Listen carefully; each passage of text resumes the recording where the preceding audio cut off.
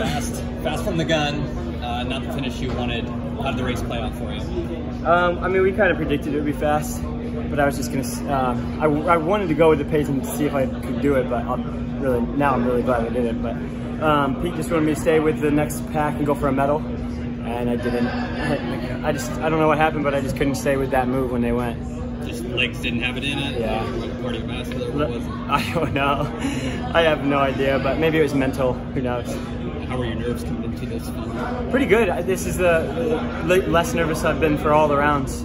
Um, guess I don't know. Yeah, and mentally I was ready to run 3:30 in my head, but I guess physically I wasn't. Did you think that was the way it was going to go with you right in there? Yeah. I just thought. I mean, I figured there'd be a big gap, um, and we would run like another race for 3:34, but they was they were running a race for 3:31 up there. So uh, you can't. I mean, you can't prepare. You can't plan for that. So. Do you think having three races in four days might be a reason why you were feeling pretty tired? Maybe I like to. I like pride myself on being good at rounds. Um, since the Olympic trials, since like six races in ten days. But um, I guess I need to get stronger. I don't know. Maybe train with Jerry and Centro.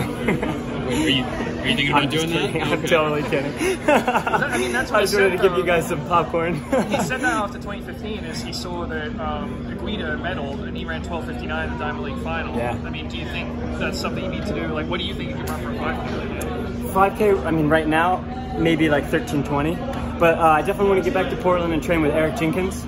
Uh, do some stronger workouts like that. But I'm hopefully I don't have to run a 5K. maybe 3K. It ends the season on a tough note, but how would you sum up 2019 overall? Uh, I think this was like the best year of my life, not just running. I uh, had a great time living in Portland this summer. We started our year out right in Phoenix with Sun, um, and everything's just been so fun up until this second, you know. And even even now, I can use this as fuel for the next season. Sometimes you don't want to end the season on like the highest note possible, or you run like crap the next year. But obviously, I would have loved to win. with that being said, um, so yeah, I mean, I'm really happy with the year and and everything that's happened. So.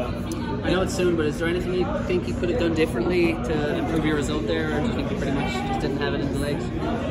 Yeah, I think maybe um, maybe if I had been in the front as the, the move was made, I would have like mentally just been like, okay, I'm here, let's do it. But uh, I don't know. I'll have to go back and watch when I was starting to get dropped. You'll be able to see it, I'm sure. And It's been obviously you've been focused on this, but you're committed to staying with Pete Julian and the Oregon project going Oh, forward. of course, yeah, yeah, yeah. I couldn't think of another coach right now for me. What has Pete told you about this situation thus far? What, what has he encouraged you to? I mean, what, what has he said to you in the wake of Salazar's ban? Um, we just decided we were going to talk about it when we got back to Portland um, to see what we're going to do with the group and Pete and uh, the athletes. So um, maybe we'll know in a couple weeks after I'm done with my off season and having fun. For Cheruiyot, oh sorry, Oh no, you're great. You're good. for Cheruiyot to run 3:29 from the front, how can you put into context how hard that is to do? I, I, I mean, I can't do it, so it's it's almost impossible.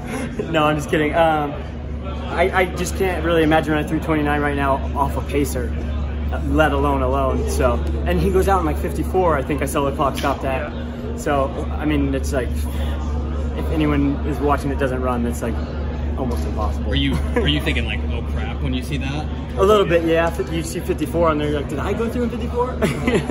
but um, I don't know. It, it was it was cool. I, I knew we were going to run fast, and I was like excited for that. But then I just couldn't go with the move. Do you have anything fun planned for the off season? Yeah, uh, I, I board a flight at 1 a.m. to go to Croatia tonight.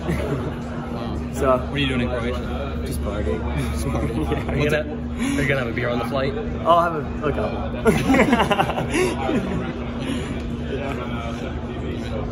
Thank you guys so much for the week and all the interviews. You guys were you guys were really um, Thanks, Craig. Appreciate it.